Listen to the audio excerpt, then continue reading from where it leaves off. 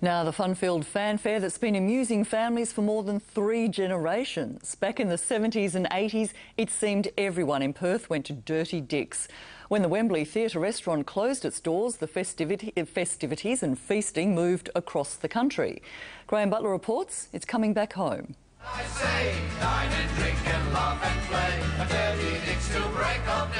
It was bawdy, raucous, medieval mayhem, and it took Perth by storm. You never knew what was going to happen next. An old English feast and a live stage show rolled up in one. And Perth hadn't really seen anything quite like it before. They called it Dirty Dick's, and the name said it all.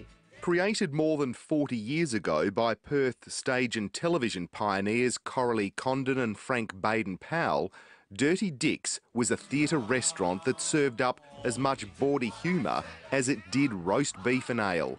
It opened in Cambridge Street, Wembley, and became an instant hit with its kings, queens, court jesters, buxom wenches, and rollicking good fun.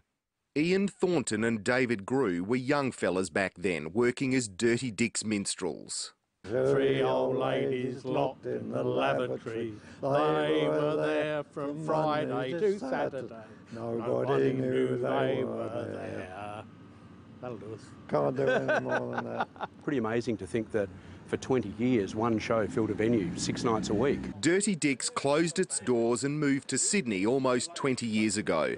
But now, event promoter Tom Tapping is bringing it back home to WA, convinced local fans still want more. It's either I went X amount of times or I had my hens party or my bucks night or my 21st there. Dirty Dick's returns as a touring show, but if there's a hearty appetite, Dirty Dick's could come home for good. If the market's there, then certainly we'd have a, a serious look at it. Many a mile to go that night before he reached the town. Oh, that'll do it.